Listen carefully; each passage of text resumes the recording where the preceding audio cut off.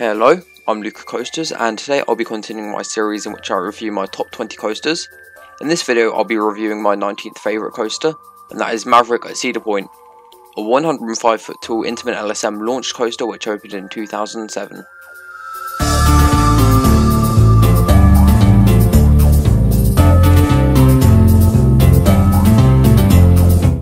The coaster itself is well presented with the highlights being the rockwork and the water effect.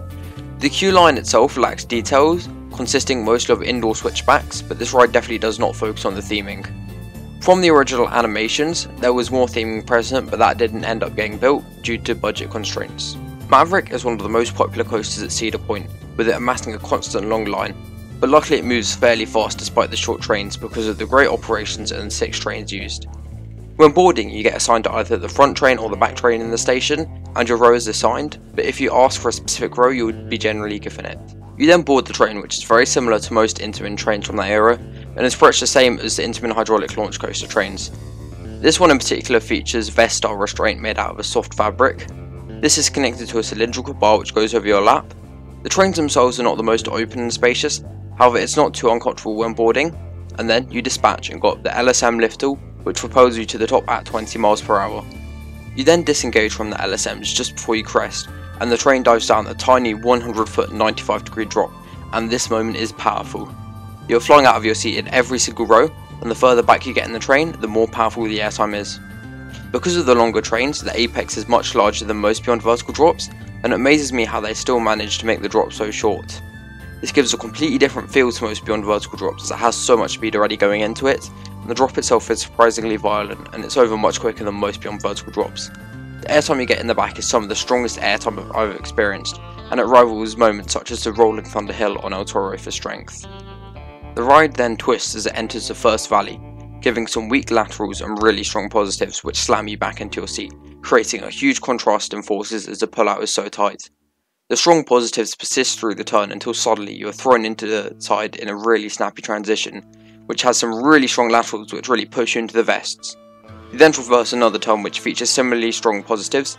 This leads into yet another snappy transition which feels like the previous one. This leads into one last turn which has the weakest positives, which feels like it is around 4 Gs, and it's the least sustained as it's only a 90 degree turn. Then you rise up into the first airtime hill, which is actually quite similar to the final bunny hills on Goliath.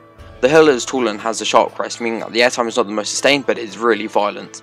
You suddenly get pushed out of your seat, while the airtime isn't true strong, it still has decent ejector, but it's not nearly as strong as say the bunny hills on Goliath or the drop you just experienced before on this coaster. The moment itself lasts under a second and acts as a break to the constant positive forces that were just thrown at you. The following valley doesn't really have the strongest positives, and then you suddenly bank to the right into a 90 degree turn which has some pretty good positive g-forces. You then rise up into the twisted horseshoe roll. The first roll whips you around slightly and has decent positives, this element is fun as it's not featured on many Intamins, but it definitely doesn't compare to similar rolls on older B&Ms, which navigate the rolls much faster and whip you around much more. Upon exiting at this element, the train leads into another turn, which has decent positive Gs, but it isn't as crushing as the turns before. This short section is definitely the weakest section of the coaster, but the pacing isn't too negatively effective as the elements are still fun and slightly intense, and after this section the ride effectively picks up the pace again. The train then pops up slightly into the brake run, giving a brief pop of ejector on the front. You then enter a tunnel and the train slows down to an almost complete stop, but before you even have time to process what just happened, you're launching to 70 miles per hour. This launch is snappy and very reminiscent of Taron's first launch, but this is even more intense than that. It also has signature LSM vibration on the launch. It feels weird but it doesn't really detract from the insane launch that you're experiencing. The sensation of speed on this launch is further heightened by the fact that it's indoors and you're approaching complete darkness, which really makes it feel more intense. You then go into the most underrated part of the ride.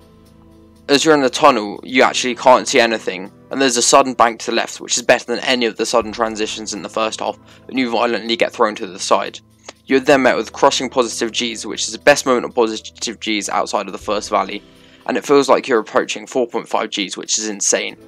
The force is fairly sustained as you rise up, lasting a couple of seconds, but unfortunately then you enter some trims. This long set of uphill trims noticeably slows the train down, but it definitely doesn't kill the pace, and these trims are necessary to ensure that the rest of the ride doesn't kill you, as the second half is that insane. You then start heading down as you get a nice brief moment of floater, The train then twists to the right as you traverse a long downhill turn which has some great sustained positives, making it the moment on this coaster that I came closest to graying out on. This is very similar to the turns on Desert Race and Rita, and it's great how in the second half of this turn you are right up against the water as the water cannons fire. The train then enters a part of the coaster which is where the Heartline Roll used to be. This element was originally installed on the coaster, but it was deemed too uncomfortable for riders before opening, so it was replaced with an S-bender instead. This moment gives you a great sensation of speed as you fly between the rocks, and you get subtle laterals as you navigate the turn. The train then rises up, and while doing so it violently banks to the right, narrowly missing the track from the first drop. This Stengel dive gives decent laterals and is really whippy, but honestly I was disappointed by the element. Problem is, while the train is rotating really fast, you don't really feel it because of the lack of laterals. I was expecting something on a similar level to Carlin's insane transition, but instead it was more similar to the sudden bank towards the end of Storm Runner. The train then glides out of this element into a fairly intense turn which crushes you into your seat. The train then rises up into another second Stengel dive, which is whippier, but it's the same story. Not many laterals. But as this is banked more, you get some good positives at the top, and then the train whips out in the other direction to exit the element overall making for a fun element which throws you around more due to there being two sudden changes in direction compared to there only being one on the first Stengel dive. The next valley is also really intense, and it leads into one final airtime hill which is very flat but small, therefore giving a good dose of sustained ejector. The airtime throughout the hill feels like it is perfectly sustained so the strength of the ejector feels consistent throughout, this is very similar to the first hills on Skyrush and the second hill of Expedition G-Force, as the airtime doesn't really build up throughout the element. But on Maverick, the airtime is notably weaker, as the hill is so small yet drawn out, and I doubt it's much stronger than minus 1G. Then the train banks to the side as it navigates one more turn which leads into the final brakes. As a whole, I love the layout of Maverick, but there is one glaring issue which stops me from ranking it much higher, and I haven't mentioned it yet in this review and that is the restraints. I'm mainly talking about that cylindrical bar that goes over your lap. The problem is that it's not ergonomic, and the bar doesn't really conform to your legs, which makes the airtime painful. This is worsened by the strength of the airtime and crushing positive Gs, which force the restraint down even further, causing more discomfort. Honestly, when on sitting on the brake run of this coaster, I couldn't help but notice the discomfort I felt. The vests also restrict the lateral forces, which could be the reason that I was disappointed by the Stengel dives, however that is less of a problem compared to the bars themselves. I'd say the overall solution to this restraint issue is to use the new Taron style lap bars on Maverick.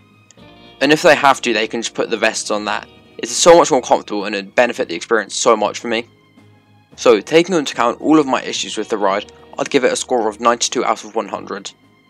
It's an amazing coaster in terms of the layout and forces, but it just needs to improve its restraints and then I'd love it so much more. So comment down below your thoughts on Maverick and you know why not like and subscribe.